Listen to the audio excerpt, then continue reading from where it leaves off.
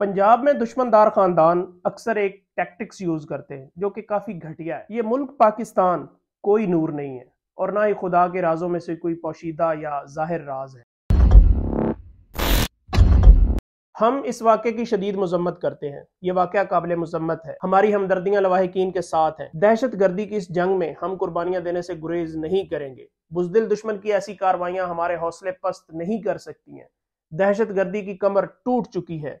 हम सीसा पिलाई दीवार की तरह दुश्मन के सामने डटे रहेंगे। शहदा के अहल खाना को फीकस दस लाख रुपए इमदाद देने का ऐलान। ये सब बयान देने का वक्त और मौसम बदकिस्मती से एक बार फिर हमारे मुल्क पे आ चुका है। क्योंकि कल नमाज़ जोहर के दौरान पिशावर पॉलिस लाइन्स के हेड क्वार्टर की मस्जिद, जो कि रेड जोन के अंदर मौजूद है, और जहाँ पे पहुँचने के लिए तीन से चार सिक्योरिटी लेयर्स को पार करके जाना पड़ता है, वहाँ पे एक खुदकुश बम्बार धमाका खेज मवाद के साथ पहुँच जाता है।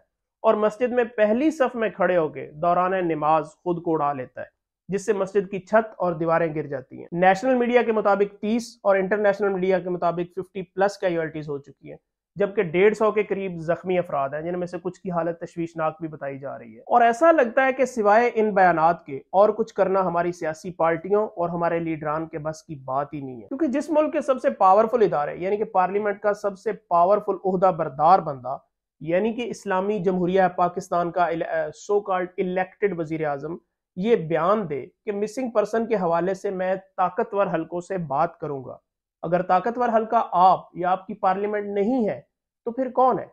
और अगर कोई और है तो फिर आप क्या हो? आपने क्यों खुद को आवाम की गालियों के लिए पेश किया हुआ है? जो ताकतवर हैं, उनको सामने आने दो। उनको पब्लिक रिएक्शन फेस करने दो। उनकी फेस सेविंग के लिए सियासी लोग और सियासी पार्टियाँ कुर्बानी का बकरा बन जाती हैं। लेकिन जब कोई बात आती है अवामी मसाइल के हल की तो वही सियासी पार्टियाँ कहती हैं कि हमारे तो हाथ बंधे हुए हैं और हम उनसे बात करेंगे। तो फिर अवाम को डायरेक्ट उनसे ही बात कर लेने दो और उनको भी डायरेक्ट अवाम की राय जान लेने दो कि अवाम कितना प्यार करती है उनसे। क्योंकि अब मिली नगमे और डॉक्यूमेंट्री से ये अवाम इमोशनल होने वाली रही नहीं है। दुश्मन के बच्चों को पढ़ाना है, अपने चाहे ज़िंदा बचे ना बचे। खैबर पख्तूनख्वा में इस वक्त हुकूमत तो है ही नहीं, लेकिन जब थी भी, तब भी ऐसा ही लगता था कि खैबर पख्तूनख्वा का एक शहर पिशावर और एक और मुकम्मल सूबा, शायद हमने रखा ही कोलेट्रल डैमेज और जंगी मशकों के लिए है, कि जंग चाहे अफ़गानिस्तान और रशिया की हो, चाहे अफ़गानिस्तान और अमेरिका की हो, हत्या के चाइना और कोरिया की भी हो तो भी कोलेट्रल डैमेज पश्तूनों ने ही बनना है। वो लीडरान जिनके लिए आप अपनी जानें देने और अपने मुखालिफिन की जानें लेने तक को तैयार बैठे होते हैं,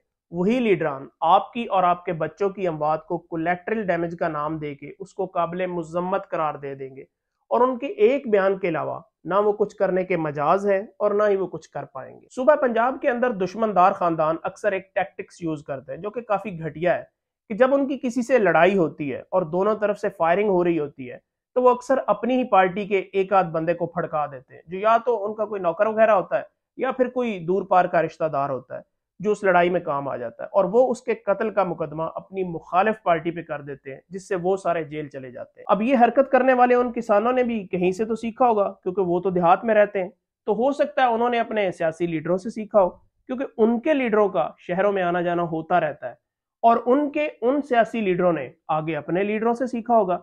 जिनकी वजह से वो सियासी बने हैं और जिनके एक इशारे पे वो अपनी वफादारियाँ तब्दील करते हैं, मुमकिन है। बहरहाल, कहीं ना कहीं से तो उन्होंने भी सीखा है कि कैसे अपनों को ही मार के, बाकी अवाम की सिंपथीज को हासिल किया जाता है और अपने ज़मीर को मुतमिन करने के लिए इसको कोलेट्रल डैमेज का नाम दिया जाता है। और साथ ये भी कहा जाता है कि मैंने ये काम अपने बकाया खानदान की हिफाजत के लिए किया है। इस मुल्क के हालात और इसकी आवाम के करतूतों को देखते हुए एक ही नतीजा अखज किया जा सकता है कि यह मुल्क कोई नूर नहीं है। और ना ही खुदा के राजों में से कोई पोशीदा या ज़ाहिर राज है। ये लाकानूनीत बद इंतज़ामी करप्शन मुँह फट हुक्मरानों मुँह ज़ोर इदारों, बेरोज़गारी बद अखलाकी बद किरदारी जैसे अजाबों में मुबतला दुनिया का एक बदनसीब खत्ता है। और हमारी इस बर्बादी में बहुत सारा हाथ ऐसे ख्याल का भी है कि चूँकि ये मुल्क सत्ताईसवीं की शब को मार्ज वजूद में आया था, इसलिए ये कोई आम मुल्क नहीं है, बल्कि खुदा का नूर है।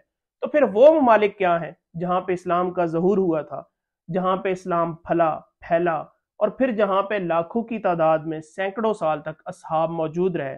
लेकिन इसके बावजूद निन्यानवे फ़ीसद सैयद तो हमारे मुल्क में है। अगर ऐसा है तो अल्लाह ताला उनकी नस्बत से ही इस मुल्क पे अपना रहम और करम करे।